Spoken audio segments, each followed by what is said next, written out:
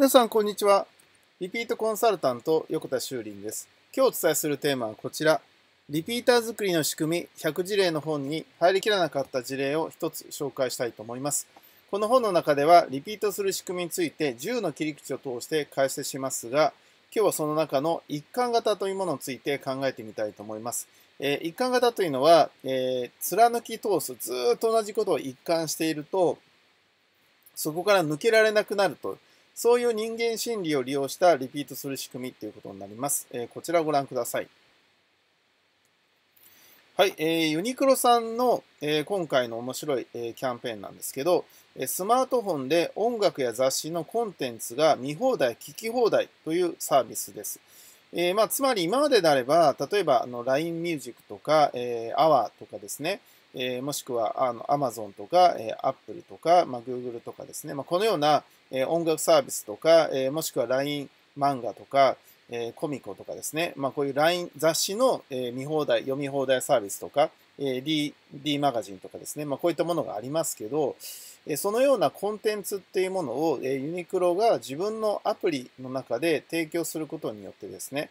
えー、例えばこの音楽を聴き放題ですよとか、雑誌は見放題ですよっていうことをすることによって、まあ、アプリに定期的にアクセスアクセスしてもらうという癖をつけることができますよね。つまり自分たちの商品のコンテンツ力がなかったとしても、このようなみんなが見たい、え雑誌記事や、え聴きたい音楽っていうのを入れておくことによって、え定期的にアクセスしてもらえれば、そのユニクロのアプリがあるっていうことを忘れないでもらえると。そうすると、そのなんとか放題っていうですね、ものを一回利用した人がなかなか抜けられなくなるので、えずっとですね、そのユニクロのアプリを立ち続けるようになると。えそのような形で、まあ、習慣ですよね、えそこに必ずアクセスするという癖をつけるという意味で、このコンテンツを使ったビジネスっていうのが今本当に増えてます。まあもうあの本当にまあ基本的に全部そうなんですよね。そのどういうふうにしてあの Yahoo ニュースもそうだし、えー、Facebook もそうだし、Twitter も全部そうなんだけど、どうやって定期的にアクセスしてもらうかって言ったらみんなが見たいもの、聞きたいものをどうやって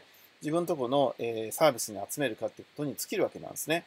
このようなことも、そのいわゆるソーシャルメディアとかポータルサイトとかだけではなくて、一般の通販会社、一般の小売がやってきたっていうことが今回ね、すごいなと思うんですよね。まあ、このような連携っていうものをしてくれば、例えば AWA もそうだし、LINE ミュージックとかもそうなんだけど、確かに自分たちのサービスだけじゃなくて、他と組んでいけば、そこからお金ももらえるかもしれないので、もうちょっと安くですね、えー、LINE ミュージックとか始められるようになれば、えー、かなりまたそれで面白いかなというふうに思っています。はい、今日は、えー、リピートする仕組みとして、えー、一貫型、えー、ユニクロさんの例を紹介しました。リピートコンサルタント、横田修理でした。ありがとうございました。バイバイ。